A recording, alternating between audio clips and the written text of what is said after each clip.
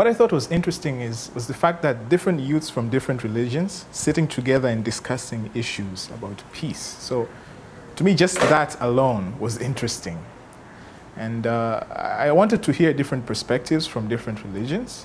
So that's as the aspect that you know different youths from different religions are coming together and talking about peace issues. It's, it's really something that got me interested, and that's why I, I came to attend the first dialogue.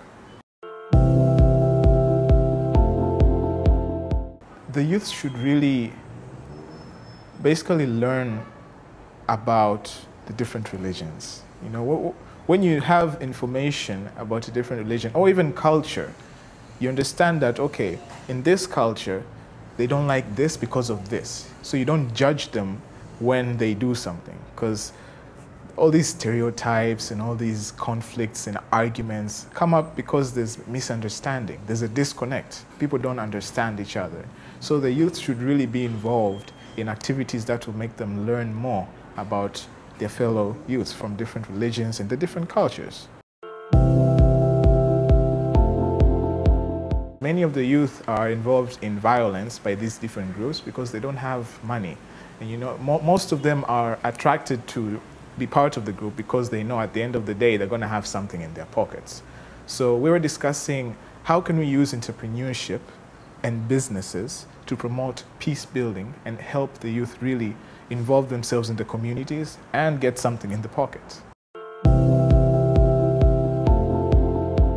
There's this activity I did with a small group of youth where I got this software where we could make music.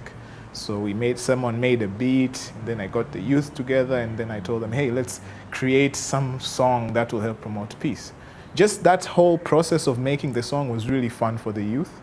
And I targeted an area where the youth are really prone to violence, you know, a slum area, an area where there's a lot of thieves and so on. So when I did that the first day, there were about five youths, and we were together just making songs and, you know, having fun. And then they asked me when I'm coming next. I told them next weekend. So when I came next weekend, there were 15.